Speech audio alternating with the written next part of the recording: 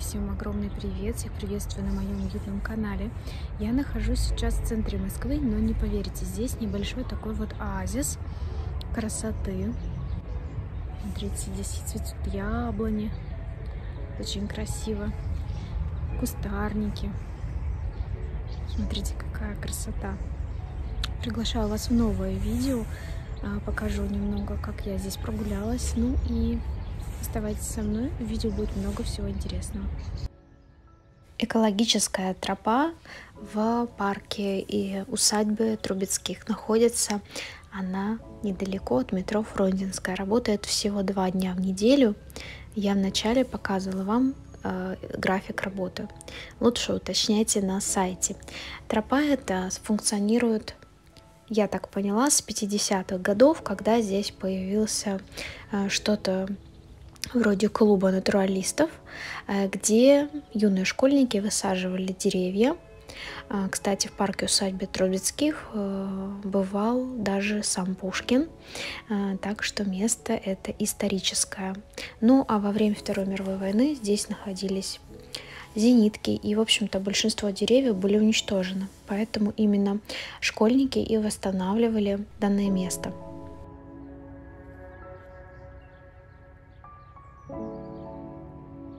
Была удивлена а, тому, что каждый практически день проходила и не знала, что здесь есть а, вот такой вот зеленый островок в центре Москвы, где можно прогуляться.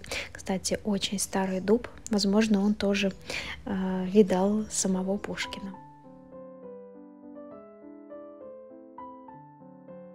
Я медленно переключаюсь, и мы с вами уже находимся в магазине Сенсей. Итак, э, магазин этот открылся вновь э, в некоторых городах под другим названием.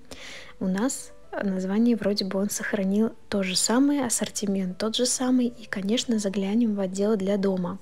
Хочу сказать, что ассортимент тоже там практически не изменился. Возможно, продают э, старые предметы, да, оставшиеся еще до закрытие.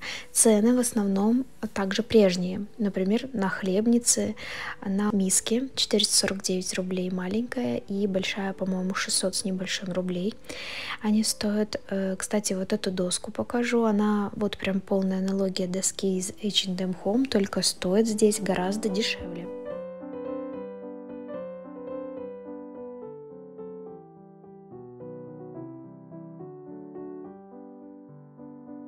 Могу сказать, что многие предметы здесь находятся как бы на острие моды, но в то же время есть э, какие-то небольшие предметы мебели, например, вот такие пуфики. И вот они мне очень нравятся. У меня есть конкретно такой пуфик. Э, из старых видео могли уже, наверное, его видеть. Я сняла у него ножки, и он стал, ну, так скажем, более устойчивым. Так вот, этот пуфик стал немного дороже. 1899 он стоит. И есть здесь немного предметов для детской комнаты. В частности, очень советую присмотреться к таким корзинам. В них очень удобно хранить игрушки, различные мозаики, лего, ну, в общем, все то, что обычно присуще детским комнатам. И вот такие корзиночки тоже можно для этого использовать. Плед, э, который является полной аналогией пледа из H&M размер его 160 на 2 метра и стоил, по-моему, он в районе 1100, кажется. Ну, в основном здесь э, очень много предметов, которые повторяются, как я и сказала, да, либо являются копией. А вообще магазин в целом неплохой.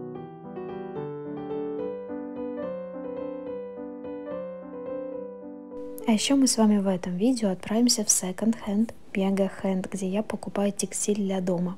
Иногда я все же заглядываю в отдел а, с одеждой, но это происходит э, в последнее время реже. Хотя в этот раз я нашла абсолютно новые брюки. Стоили в районе 600 или 700 рублей, по-моему. А, кстати, очень советую заглядывать в отделы с мужскими рубашками. Там тоже бывают абсолютно новые э, модели с этикеткой.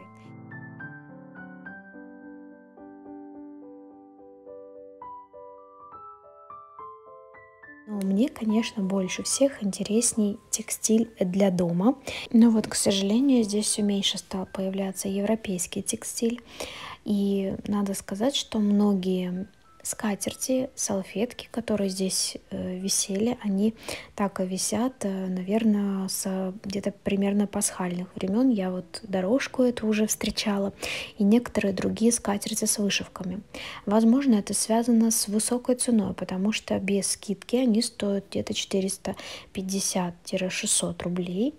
А, и Вероятно, действительно это связано с ценой, что их не раскупают. Но вот абсолютно точно некоторые скатерти я уже здесь встречала. Либо это какие-то копии.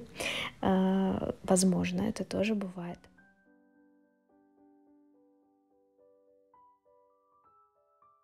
Я всегда весь текстиль, который хочу купить, раскладываю вот так на подоконник и внимательно смотрю на различные повреждения либо пятна.